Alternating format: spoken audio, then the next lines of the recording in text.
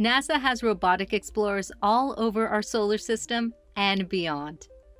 But how do we communicate with these faraway spacecraft? We communicate with them by using the big antennas of the Deep Space Network, or DSN. The DSN has three antenna complexes evenly spaced around the world in the United States, Spain, and Australia. That means that as the world turns, at least one antenna complex can always contact spacecraft no matter where they are in the sky above Earth.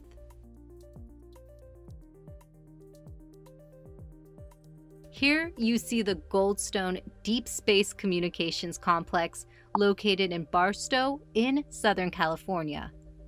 You're standing next to a massive 70 meter dish, which has a total area of approximately one acre.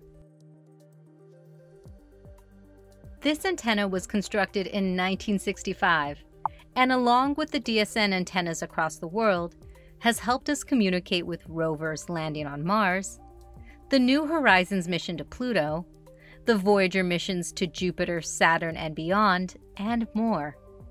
The Deep Space Network provides the crucial connection for commanding spacecraft and receiving never before seen images and scientific information.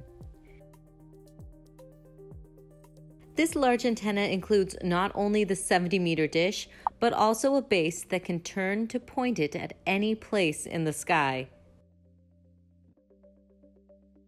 The 70 meter antennas are driven by hydraulic drive systems using a 200 horsepower motor. That's the power of a car engine.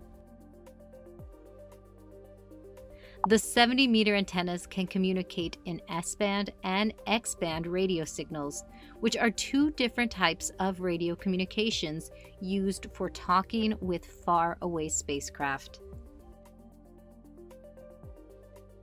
To learn more about NASA's Deep Space Network, visit go.nasa.gov slash about-dsn.